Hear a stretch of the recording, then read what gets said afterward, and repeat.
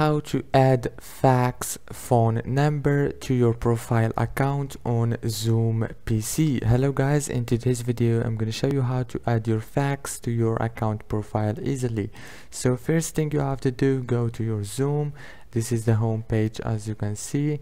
Now log in and then go here to my account option.